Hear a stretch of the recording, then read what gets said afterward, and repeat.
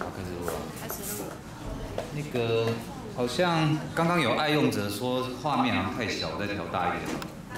爱用者。对，刚刚在电梯那边遇到的，这样上面会不会被遮？差不多这样子。那个待会同学来看一下画面可不可以？来四十一页。呃，今天这一点比较辛苦哈，我们要讲法国大革命。那法国大革命，我们在上一回上课的时候，我记得呃有把整个分歧哈，大概跟大家先做一个交代哈。那如果你对照课本的话，就是在四十一页的这一章。那一般我们都把大革命分成三个时期。好，然后这三个时期哈，好吧，因为头一天在叫我们先来问一下好了哈。这三个时期，我们如果用阶级、中产阶级跟底层的群众来讲的话，大概三个阶层我们可以怎么样划分？来抽切线。好，大革命分三个阶段，这三个阶段，如果以阶级利益来讲的话，它反映了谁的利益？好，谢谢三十三号。哦，好，那就是平均请回答。要是随身体一直读不出来，我们就一直不录底下去。就说，我们知道整个法国大革命一开始就是两批不同的人，在或早或晚的时间登上了革命的舞台。啊，底层的群众，然后中产阶级，所以三个阶段分别是。呃，回答就是第一个阶段是比较反映哪一个阶层的利益啊？第一个阶段，第二个阶段，底层的人民。啊第三个阶段，好，所以哪两个阶段比较像？好，一跟三阶段来请坐，这样就可以加分啦。好，这边看到是说，在上个礼拜讲的就是革命三个分歧，然后它的分歧分三个阶段，它的架构哦，我们先把它掌握住。好，先把投影片的那一张叫出来。呃，对对，这是我们家的电脑，都要向他致敬一下。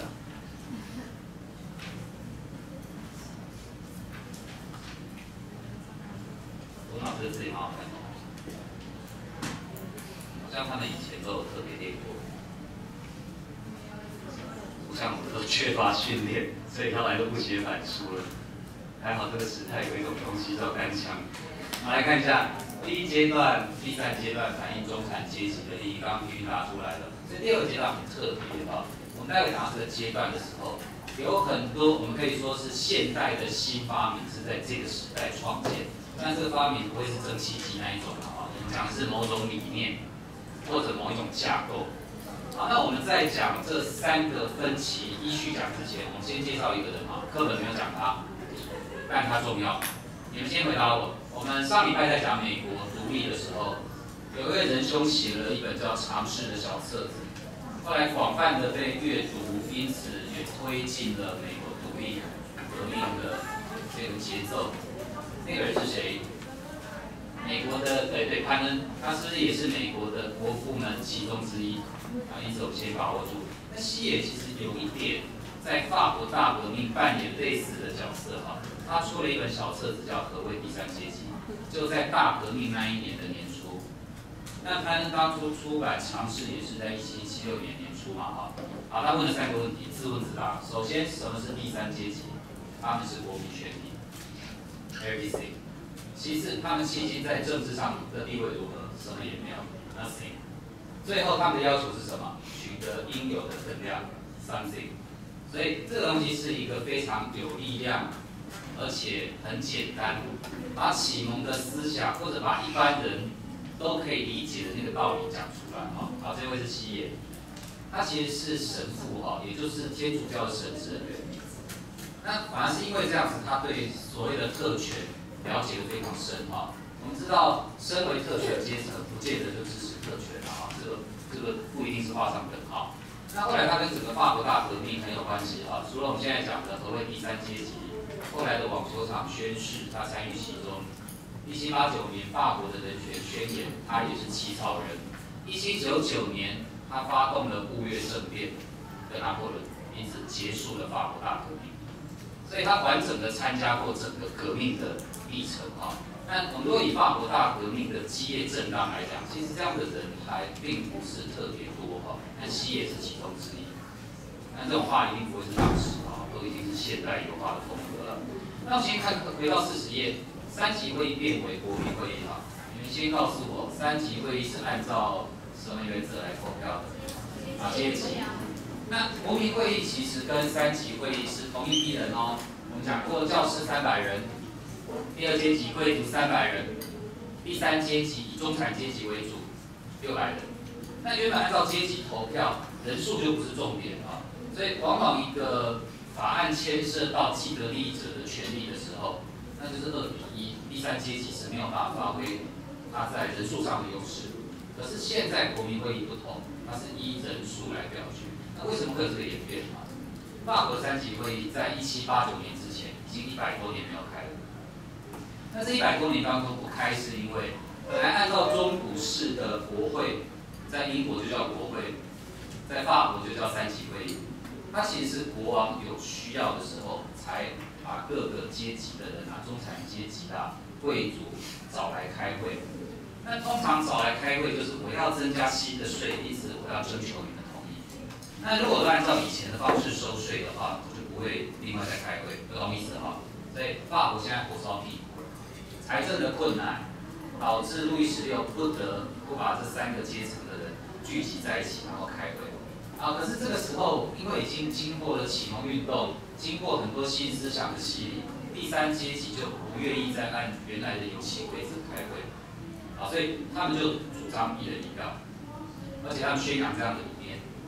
那当他进入异常，这时候路易十六就耍剑招哈，就把整个凡尔赛宫三级会开会的场地封起来，说要整修。民民呃对，就没办法开。于是他们没有办法有一个场合去宣扬他的主张的时候，他们就来到凡尔赛宫的外面。那那天运气不好啊，就跟对下雨。就跟那那个什么苗博雅来的时候，不是也下雨一样？那因此下雨导致他们没有办法在雨中进行什么事嘛，他们就跑到巴塞宫附近的一个网球场室内的。因此在这个地方就所谓的网球场宣宣誓，请看到第二行的地方。好，所以这个宣誓，我把它的式子大概找来，这个是今天网球场的样子。这是网球场。呃，这个是网球场啊，哈，当然你不能用我们现在的标准。但是现在不会是当网球场，看得出来，现在应该比较像是一个，呃，也不是美术馆啊，哦，咖啡厅像吗？你会去吗？啊，这个地方大概只是一个去巴尔塞宫附近顺便去看的一个历史景点嘛，哈，也就是让你体会一下历史现场，啊，看起来是蛮像的啊，全部挤在一起。不过我想这张一定不会是当时的实际情况啊，你仔细看就会发现它的左右完全对称。就是，他是刻意营造所有的最后都会把目光集中在这个在讲誓词的那位人秀的身上。所以这一张的构图跟我们先前讲的拉斐尔的雅典学院其实有一点像，就是它是一个很严谨的构图哈，会让你的视线集中。好，我们看到这个宣誓，五等立下誓言，一定要定出一套宪法。那叫王国宪法的意思就是君主立宪，保留路易十六的国王的行政权，可是他必须要受到比较近代式的议会的监督了哈。那因此他们就说我们一定要达到这个目标等等。那后来情况是很多人支持他们，以至于在形势所逼之下，路易十六本来是反对的，后来就叫第一跟第二阶级加入这个国民会议。所以你看啊，路易十六如果早一点。就是说，呃，那时候我们就顺势改成国民会议法，用他国王的权威，是不是事情会比较容易一点？好，所以我们说他常常在错误的时间做正确的决定啊，这边就一个了。好，那路易十六妥协，因此国民会议成立。所以请你先注意到一点，所谓的国民会议的人跟三级会议是一模一样的，唯一改变的是游戏规则，本来是一阶级一票，现在是一人一票，所以第三阶级就掌握了优势。因为就像西野嘛，他是教师阶层，但是他是支持革命的哈，就是说这个时候形势对改革是有利的。好，那我们看到的是不久之后底层的群众也登场哈，那这个形势。式是受到国民会议的激励。那它其实有几方面的原因啊，哈，课本这边有一些分析。第一个，国民会议虽然开会了，可是路易十六或者这些特权阶级，还是用很多的方式要去阻挠这些改革的法案，因此对整个法国再来会变成什么样子，其实很多人是忧心忡忡啊，它不见得是我们后来看到的一个结果。好，第二个，这个请你把它画一下，第二段的第三行，天灾导致物价飞涨。你知道法国这种财政困难，或者是阶级的不平等的状态，它其实是很久以来都是这样子嘛。可是我们都要找一个一七八九年的原因，它之所以变得很极端的时候，天灾哈，所以在一七八九年，法国最动人的口号大概就是我要面包吧，因为你得先吃饱，你才有办法去想其他的事情。想想看哈，北语这几年历史最激烈的一刻，就是因为吃所产生。应该在你们刚入学的时候，是不是？差不多吧。对啊，对啊。当然，那那件事情的那个实际情况，我我不是很清楚了哈。但那件事情跟吃有关，各位同意？就是疑似要不让各位订外食了，以至于各位就瞬间化身报名了。对，我再不是好学生，是报名啊，不让吃我就暴动那样子啊。啊，懂那个吃扮演的重要的角色哈。好，那因此底层的群众这时候蠢蠢欲动，在七月十四号攻攻取了八十里，啊，这个是后来的人所画的一个画啊，我猜八十里大概没有那么高了。那巴士底课本是写巴士底监狱，你把监狱两个字划掉，不是说巴士底不是监狱，而是巴士底这个词本身就是法文的监狱。所以当你讲巴士底监狱，就是监狱监狱。那我们不是举过很多这种例子吗？查理大帝大帝，还还有什么？还有什么？啊？哦，对对对，就是法老法老法老王。对，那这个地方又变成重复啊。中文有时候在中译的时候都碰到。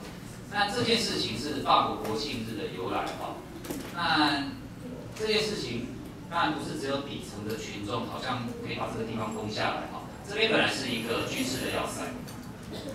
那后来是当军事要塞以后，有一段时间是关政治犯，伏尔泰曾经被关在巴士底哈，所以攻陷巴士底并不是说他真的好像把一个什么路易十六很重要的据点拿下来哈，它比较重要意义是象征的，也就是反抗暴政，因为这本来都是关政治犯嘛，啊，那攻下巴士底之后，引起了巴黎以及其他地方底层人民纷纷揭竿起义，这时候抗税。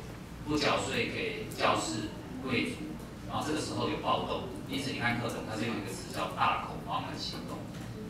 好，所以我们如果看那个三级会变成国民会议，那个是中产阶级哦。那我们现在讲七月十四号八十底之后的一段时间，是底层老百姓哦。他们的目标当然共同的是都要打倒权贵，也就是一二阶级的特权。但其实他们到后来哦，他们的想法以及他们的目标，并不见得一致的。好，等到十月的时候，因为粮食的供应情况没有好转，以至于这件事情号称是法国大革命妇女登上台面之时，也就是十月九号，他们向凡尔赛宫进进军，他们喊出的口号就是叫路易十六给他们面包。好，然后这件事情到了凡尔赛宫，因此路易十六等于是被群众所包围，那被迫从凡尔赛宫搬回到巴黎市区。我们知道当初凡尔赛宫是谁盖的？路易十四，他是在郊区哦，巴黎的郊区，所以这个时候国王等于是被迫迁回市区。他如果你要问他为什么被迫迁回市区，是因为很担心他跑掉。因为我们刚刚在讲的是大恐慌的期间，很多贵族就开始逃往往西边跑。当时的欧洲越西边越开放越自由，这是讲一个大概哈。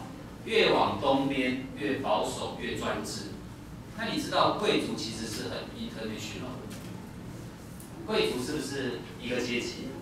那这个阶级包含王室贵族，他们是常常跟其他国家的王室贵族通婚，所以其实他们是没有国国家的概念。有时候我们现在去谴责他们，会后来会讲一些事情啊，他叛国，他怎么不忠于自己的国家。其实我们有一点是拿后来的观念。来框在这一些 international 的贵族的上面啊，他往东边走是因为在东边普鲁士奥地利有很多是他们的娘家，有很多是他们家族的所在地啊。好，那路易十六也一样啊。这个时候他可以说是贵族当中最高的一位嘛，那是不是有可能逃亡呢？啊，这种情况是有可能，而且后来实质发生的。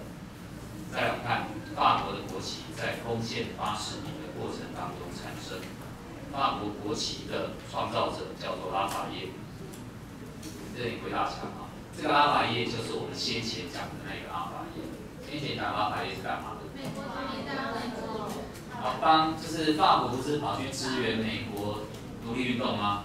好，所以那一位拉法叶帮助了美国独立革命。哎，这个时候他又在法国大革命扮演重要的角色，很奇怪哦，他都在历史舞台的最中央哈，就是就有这么巧的事情哈。那他把巴黎当时代表的蓝色跟红色的中间加入了波旁王室的白色，一直成为现在法国国旗三色旗的由来。啊，先看这个，这是波旁的王旗，远远看它就是白色啊。那它中间的图案是鸢尾花，那这个你去看一些，呃，大概在近代的法国电影啊，很容易看到这个，就是波旁的家族的族徽或者是呃王室的徽章啊。比如说各位看那个《悲惨世界》，前两年的啊，罗素克洛不是演一个就是要去，没事就要去逮捕上万强的那一位吗？哎，他身上就有这样的徽章的的样子哈。好，那因此后来法国的国旗长这样子，是给你看一下哈。好，那法叶，法国的将军、政治家，参与，先后参与了美国跟法国的革命。好，怎么样？好，有运动感，生阳呈现 S 型姿势。再来我们看到这段时间还有一个很重要的事情是新成立的国民会议颁布了人权宣言，它可以说是启蒙思想的结晶。现在我们要做一个对照，先翻回到课本的三十一页地方，请看三十一页。三十一页是我们在二十一提过的另外一个宣言，是美国独立宣言，在一七七六年。我们现在讲的是法国的人权宣言，在一七八九年。美国的独立宣言一言以蔽之，天赋人权。三十页的这一段，我的权利是你英国国王、英国国会不能够剥夺的，因为这些权利是与生俱来的，啊，天赋人权，或者前几天我看到变成人权天赋，就是一样的意思了哈。好，那我们看到是人权宣言，我们现在拿来做一个比较哦。好像这些这些，是不是跟你在三十页看到的独立宣言相对是接近的？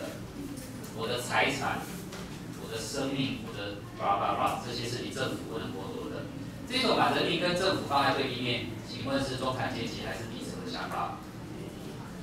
中产阶级，所以它比较弱课。课本三十页的美国独立宣言也比较弱课。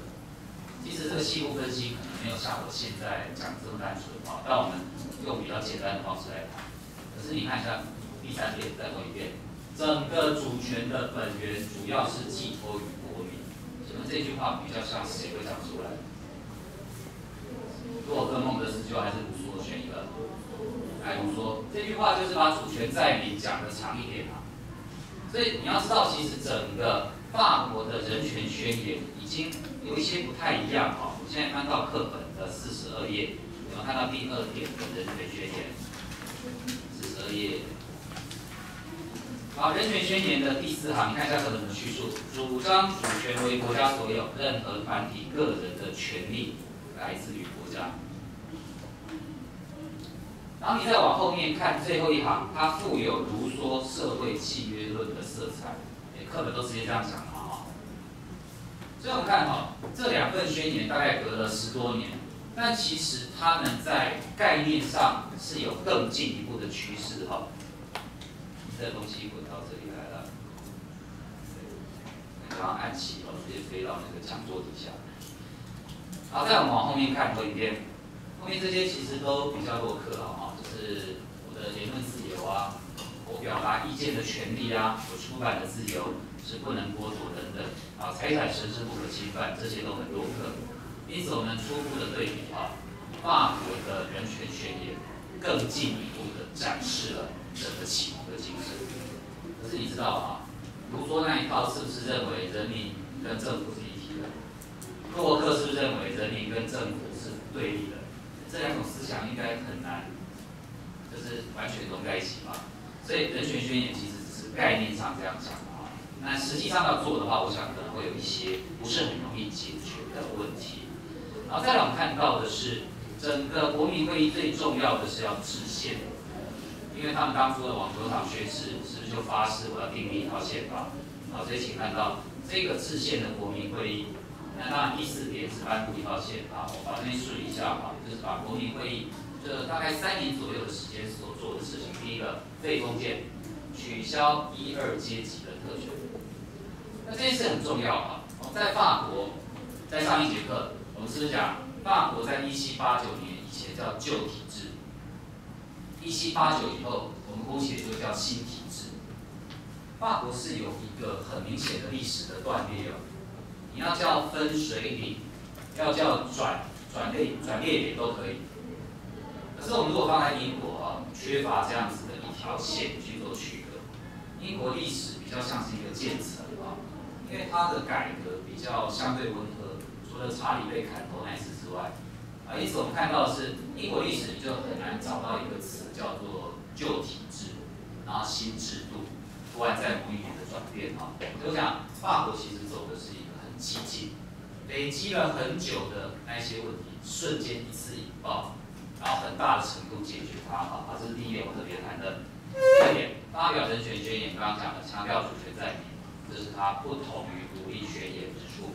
第三个，没收教会财产，再来的教士比较像是国家的呃那个什么公务体系的那种感觉啊，哈，也就是国家掌握的教会，这个教会当然指的是天主教啊。好，第四个颁布宪法，请你在第五点课本写上这一套宪法，一般就叫一七九一年宪法。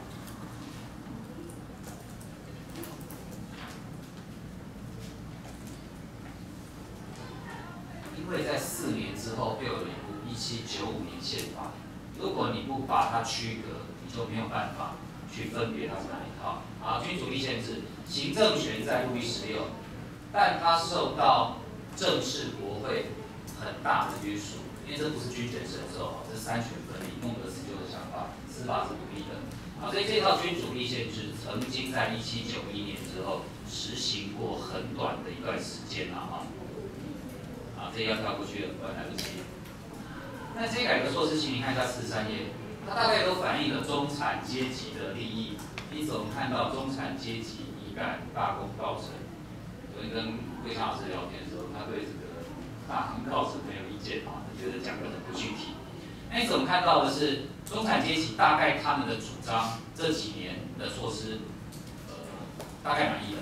可是中下阶层，请把第二行画下来，四十三页。中下层的民众有欲罢不能的情绪。那所谓的欲罢不能，就是他们的一些主张或者他们的想法并没有落实。毕竟当时的国民会议制宪的这一群人，他们是比较中产阶级的啊。这一课其实提示这个，就是告诉你，革命已经到了一个分水岭了。那群众可能试图要在深化革命。更进一步、更激进的措施等等。但实际上，革命走向激进，除了我们刚刚分析的不同阶层的利益慢慢没有办法完全调和之外，好，还有的是贵族以及国王的动向。那我刚刚有讲啊，这些贵族他们是 international，他们可以跨国去取暖。那当时欧洲越往东边越保守，所以他们都聚在日耳曼的西部。日耳曼是在法国的东边嘛，好，所以他们往东边跑。那所以你从这一点就发现哈，法国大革命从头开始它就不是自己的事情，因为他们要推翻的特权阶级，在法国有，在日耳曼地区有，在普鲁士奥地利有，是在英国也有，在俄国也有。所以这场革命为什么很容易被外国干涉？好，在这个地方霍布斯帮我特别讲出来哈，因为对这些保守势力来讲，扑灭革命势力就是保障这些特权阶级可以继续的存在。对法国的革命者来讲，为了确保革命的成果，所以是不是也得连带的对付外国的这些贵族阶层，或者外国支持贵族阶层的这些势力呢？啊，所以我们看到的是，后来雪上加霜的是，路易十六也企图逃亡，其实应该说他逃亡啊，在一七九一呃九一年的年中，那这个逃亡，我们光看这一章你就知道他不可能成功。这一章是他逃亡失败，然后被军队被群众架回来。哎，他坐这种车要逃亡啊？这种车在法国只有谁有？只有他有而已啦。然后路易十六他在逃亡的时候。你知道过惯奢华的生活的人啊，他没有办法过一般的生活，所以他要把他的发型设计师一起带走，要不然他那个 QQ 卷毛没有人帮他打理。那以此类推，是不是帮他打理三餐的那个厨师？一厨师什么发型设计师？史上最鸟是逃亡事件啊！逃亡的意思是不是？我现在已经洗衣拜拜不行了，所以我要绕跑了。可是，他是洗皮白白没有错哈，跟绕跑一大群人，结果可能逃亡的时候，呃，路人不知道他是路易十六了，就觉得这群人很奇怪，然后就去通报了。那后来军队追来，然后就被逮回去了哈。逮回去之后，就返回巴黎。那本来就是一个被监管的状态，现在形同是被软禁了。好，还有雪上加霜，霜再来要堆雪，是不是？不太清楚。路易十六的老婆玛丽安东尼。泄露军事机密给联军，让法国军队被打败，这是卖国贼。你是法国的王后，你出卖情报给奥地利，可是哎，他是从奥地利嫁来的，所以我刚刚讲过哈，这一群人的 information 哦，在新的时代是显得不合时宜，容易激起法国人的愤怒。我想这刚好是一个新旧的思想交替的时刻哈。我不是帮玛丽安东尼讲话哈，我只是要你体会一下他们脑袋里在想什么，以至于他会干这样的事情哈。啊，这是玛丽安东尼，来自奥地利王室。奥地利王室我们是叫做哈布斯堡家族。下巴有没有比较长的？有，有吧？然后前几年有一部电影在演他，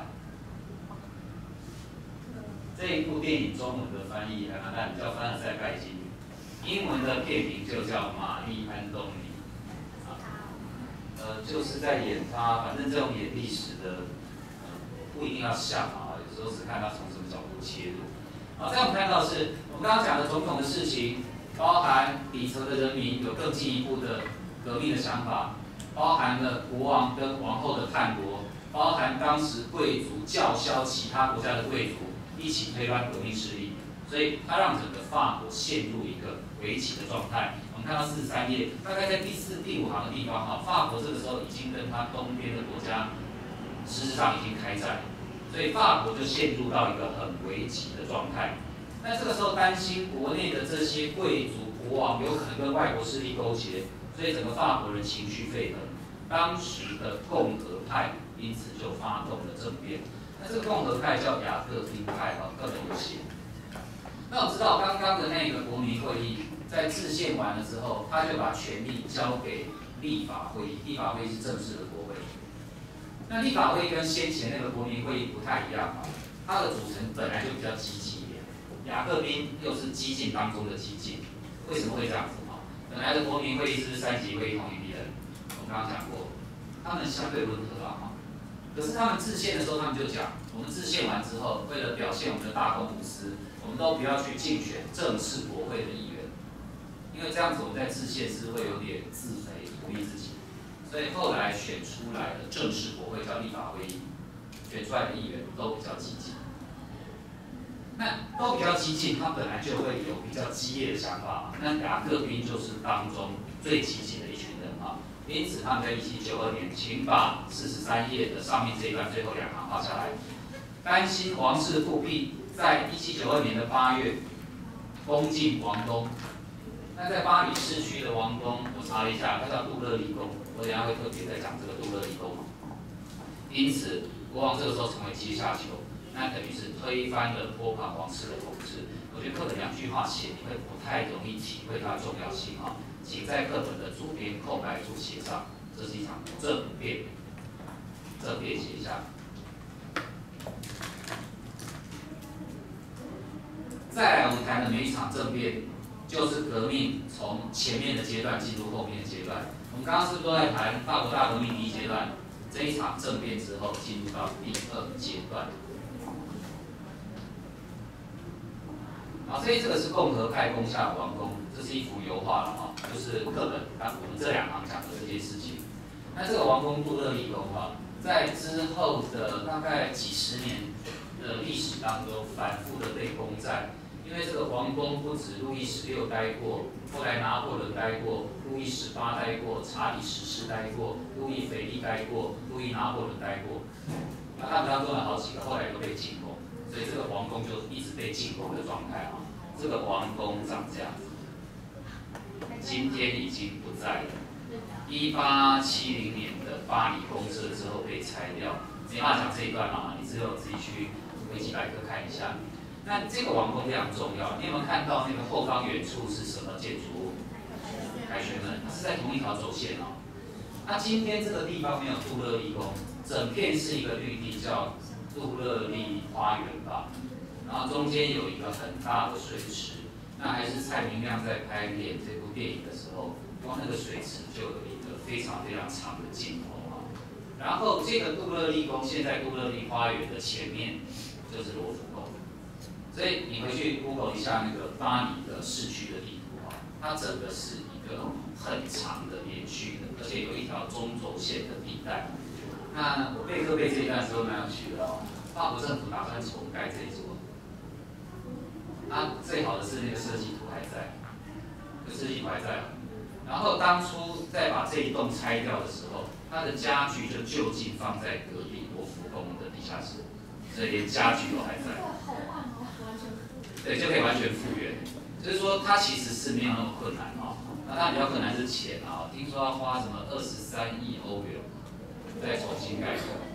不过，我猜这个动机除了历史的、文化的，一定也有观光的啦。那这一定是嘛？那时候拆掉是因为它没事就成为一个政治保守的中心或者政治激烈中心。我不知道当时一时的想法，因为这个问题就会问说，台北城当初为什么那些什么城城门啊，呃，就是拆掉然后改建的这么丑之类的哈，这种问题有很多了哈。好，但当时在攻进王宫的时候，进攻的这些共和派就高唱马赛进行曲，这是法国的国歌的由来。所以法国的国旗跟国歌是不同时候的产物。因此政变之后，成立了欧洲第一个民主共和。也是法国的第一共和，请你把下面绿色小标的后面画下来。国民工会取代立法会，一直画到第三行，成为法国的政治权力核心，掌握行政立法权。我们把这个时期叫做第一共和，因为 no king，没有国王。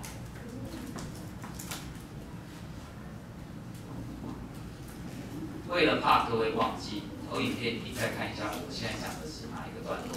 我现在讲的是一七九二年取代正式的国会的立法会议的国民工会，可是它跟立法会议不一样啊！你看这个，它既掌握行政权，它又掌握立法权，所以它跟法呃，它跟英国的国会比较像，就有点是既是行政又是立法权啊！啊，这是那时候的政治机构，而这个时候的呃国民工会比较能够反映底层人民的利益，虽然它当中还是有一些是中产阶级啊。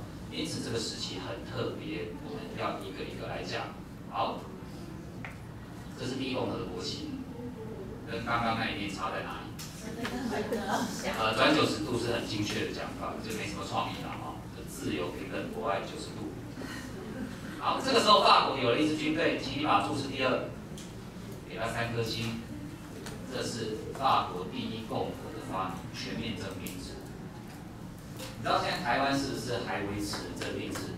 男生嘛，那因此这种全面征兵制是在法国面临内忧外患，内部可能有叛国贼，外部普鲁士、奥地利这些反法的国家已经开始进攻了，那法国危急存亡，很有可能会亡国，所以我就叫全国老百姓，你们都有当兵的义务，因此这个叫全面征兵制。所以法国招募了一批很有爱国心，同时数量远比其他国家来的庞大的一支军队。你要知道哈，在法国大革命之前，欧洲的主要国家都是国王自己去招募一批军队，所以战争不会太激烈啊，因为募兵不可能募的人数很庞大，所以十八世纪前的战争哈，它的规模都不会太大。可是自从全面征兵制之后，你知道战争这个时候规模就变大了，而且所有人是不是就把他的命运跟国家的命运绑在一起了？我要特别讲这一点哈，啊，因此国民工会时期把这一章。注意一下，帮你统整了。这一张相当于课本四十三到四十四页，一个一个讲啊。这一段因为很特别，又很重要，又很血腥，所以用红色的原因在这边。啊，第一个，废王政进入逼共和，所以法国进入一段没有世袭统治者的阶段。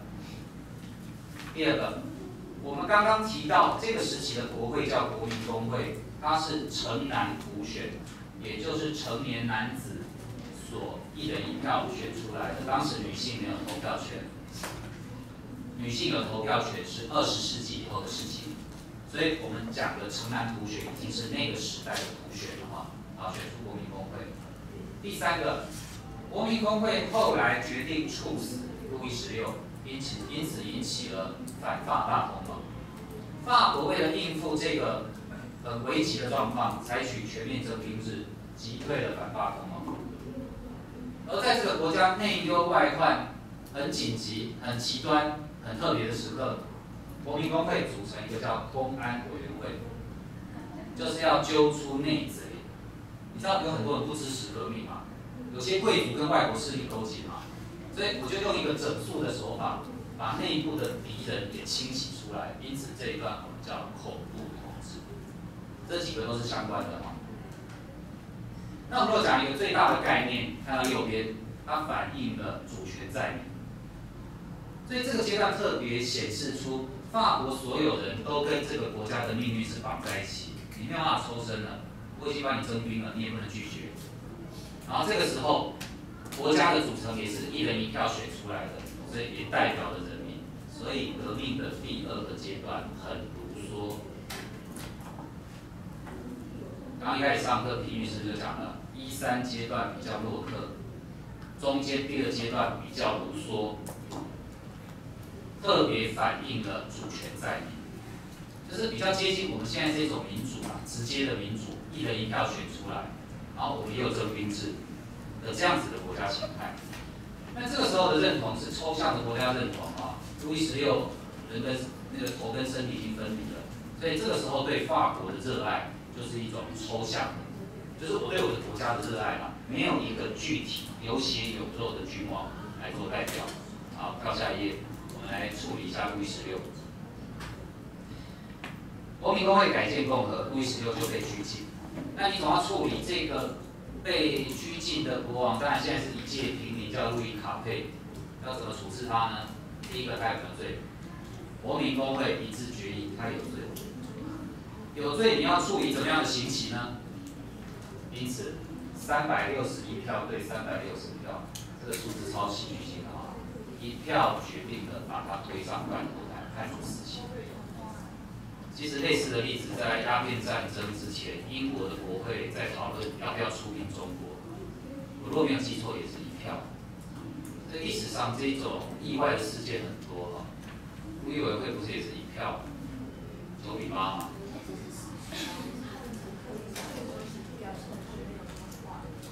刻意表现哦，这或许有可能，不过这个很难巧吧？因为你你的想法是国民工会这一群人可能是大家都很熟很默契，然后彼此瞧一下。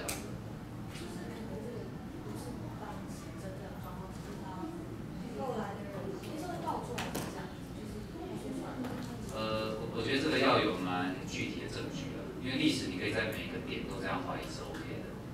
可是通常要造假得有它比较强烈的动机对。然后他是在什么时候造假？我的意思说，这个其实还蛮蛮大的，不太容易解决的一个问题。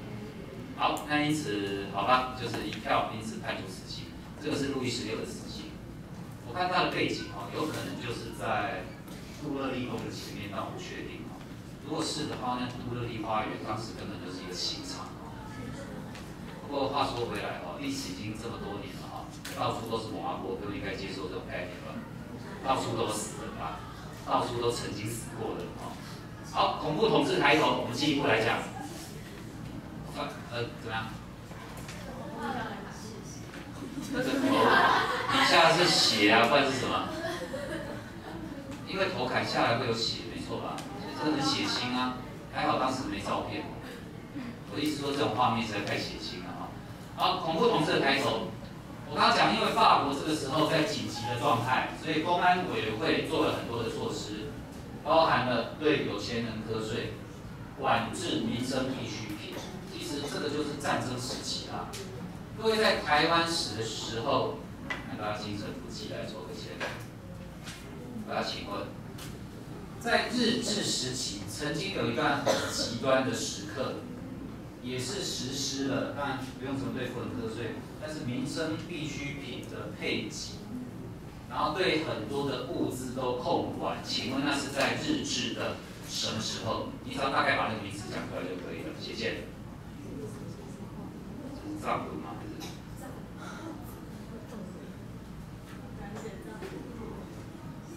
十七号，来开根号。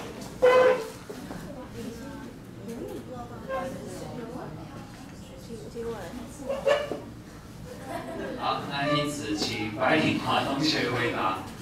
来，请坐。啊，站站错了。二战的时候二战的时候，那对二战的时候，那如果以日本人他对外战争来讲，这是他参与什么战争的时期？也是二战嘛。可能到后来的太平洋战争的时期，显得特别的典型啊！好，白领马上算讲对了啊。因此这一段我们放在台湾史实叫战时体制，还有印象吗？家里锅碗瓢盆都要捐啊，然后是不是也都快要没有米了？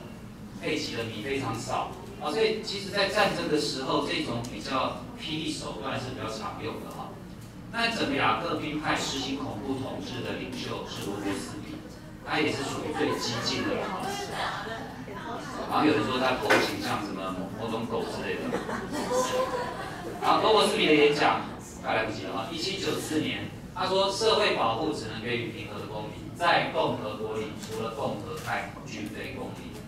你要知道哈，他定义法国人是有排他性的。你如果还支持什么君主立宪啊，要把路易十六的亲戚迎过来当国王，对不起，你不是法国人。这个其实某个角度是违反言论自由的啊。我们今天在台湾，你要是有意愿的话，你跑到凯道去喊“中华人民共和国万岁”，会不会有事？会有事了，不会有事。还有问题还是怎么样啊？有时候会出现这种情况。那如果跑去喊“台湾共和国万岁”，会不会有事？也不会有事啦，都，不会有事啦。这个叫言论自由。除非你是左手跑到什么新店山区去成立一支武装部队。要推翻什么中华民国，那个才会有事嘛？这叫言论自由啊！公民课应该有学吧？你现在在笑的是打算去成立武装部队吗？好，所以我们看到罗伯斯比这一套是不是等于是打着自由的旗号反自由了？我们看到革命已经来到这一刻了。那就连一些赞成革命，只是不赞成罗伯斯比激进想法的人，请看一下在课本四十四页注释第四十四页注释第四个地方，罗兰夫人也被推上断头台。他后来讲出一句历史的名言啊：“自由，自由，多少罪恶假主之名而起。”就说你喊你喊自由了，可是你是喊着自由做一些不自由、很罪恶的事情啊。所以我们看到这是法国大革命走到最血腥，然后排除异己的阶段啊。其实我姑且举一个例子哈。中国在八年抗战的时候，是不是也是战争期间？那战争期间，我们就是跟日本势不两立。中国跟日本势不两立。当时有一个人啊，就喊说：“其实我们可以跟日本坐下来谈谈。”那个叫汪精卫，他是马上就被汉奸了。其实你看啊，战争的时候，最是最不能包容那个疫情的声音啊。我想法国在这段时间有一点这个意思。在。那这也是一段所有人为法国奋战的啊，好，那因此请你把总体战写在四十四页第二段最后恐怖统治的底下。总体战、全面动员、全面征兵，这些都是同一个层次的概念。我战争为了获胜，我要动员所有的资源，而且我要让所有的人洗脑，为了这个目标而前进。所以它有一个最严格的物资的管控，最严格的思想的管控，所有的事情都是由上面往下用支配的方式来进行的。那我举抗战的例子，请看，这是蒋中正在七七卢沟桥事变十天后的讲话：地不分东西南北，民不分男女老幼，皆有守土抗战之责。考虑到文法，就是忽略掉文法，罗伯斯比斯也有可能讲这句话。就是总体战嘛，哈，啊，所以总体战是这个时候的发明，所以我们一直在讲这个时期发明了很多东西，哈，啊，再请到四十五页，不可能有一个革命是不断的激进下去，当不断的把这些潜在的敌人清洗，甚至连无辜的人都上了断头台，一定会引发一波反弹。所以投影片，雅各宾限制中产阶级的商业活动，因为这是暂时体制嘛，冒犯到了中产阶级。那还有，这时候人人自危，担心自己就是下一个上断头台的人，因此在一七九四年的七月来有一场政变了。这一场政变，我们看到在四十四页的最底下，啊，你自己把那个政变两个字选起来，反正政变又要进入革命的下一个阶段了。这场政变让罗伯斯比下台被逮捕。还被推上了断头台，其实这个画面都差不多了哈。那这里结束了恐怖统治。那这个是罗伯斯比的墓志铭啊，字好像是打错，所以这应该是不怀好意的人写的墓志铭啊。过往的情人啊，不要为我悲伤，如果我活着，你们一个也别想活。还蛮能体会恐怖统治那个人人自危的那种气氛呐哈。你有笑出来，就代表这段历史你有懂了哈。再来。革命逆转，从激进到保守。好，国民工会在发动，应该是说，国民工会有一部分的人发动政变，推翻了罗伯斯比的统治之后，请看到四十五页，这是课本文字。一七九五年通过新宪法，这一套就叫一七九五年宪法。我们刚刚讲的一套叫一七九一年宪法。所以这一段啊，很困扰各位的就是它很乱，不太容易理清。国民工会权力交给谁呢？交给新成立的督政府。这是一个比较寡头的统治，五个督政代表的民主政。啊，那你看课本的叙述，保守稳健，有限渐进，旁边写一下，它反映一个中产阶级的利益，它比较洛克。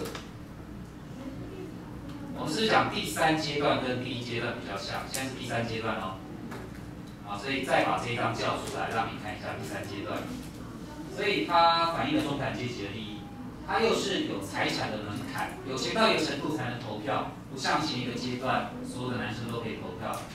这个阶段自由大于平等，反映了中产阶级的利益。但四军主力线只是一个描述了哈，表示这个阶段其实是有一个比较少数人在掌权的。啊，课本这个地方写错了，你把它改一下，在内忧外患第二段，那个保皇派改成保王派。法国这个时候没有皇帝。只有，当然是国王死掉了哈，但是有支持国王的家族再回来复辟的，因此那个不是保皇派，是保王派，课本写错了。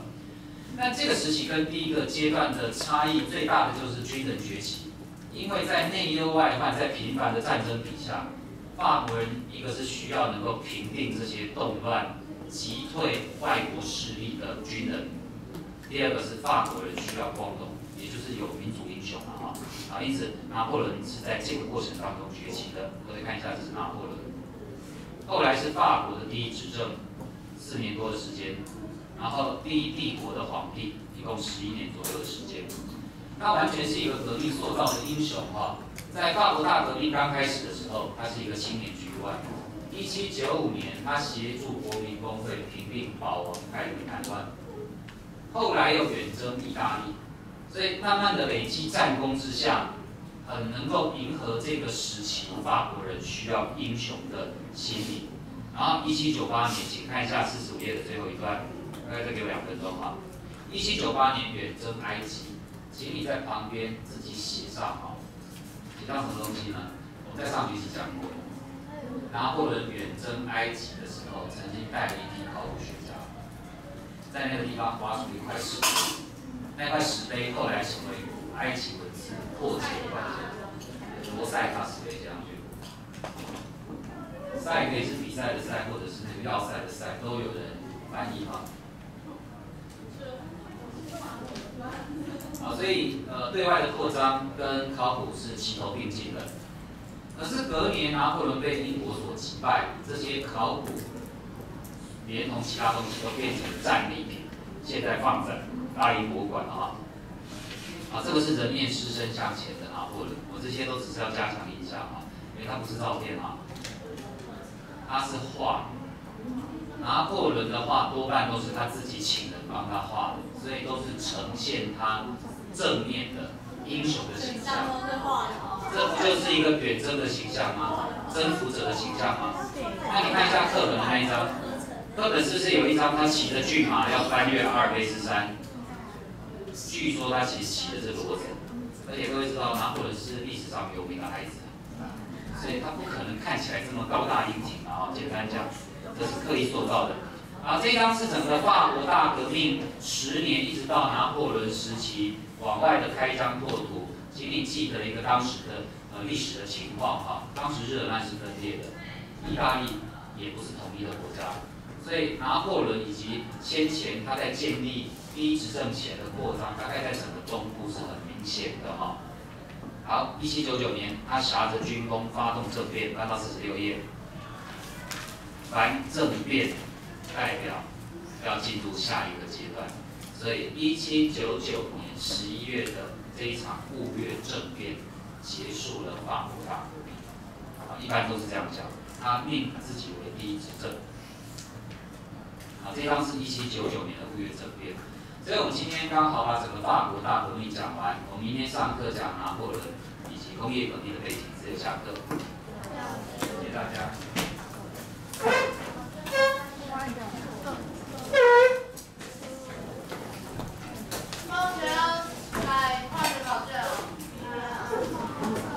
哎在哪一个？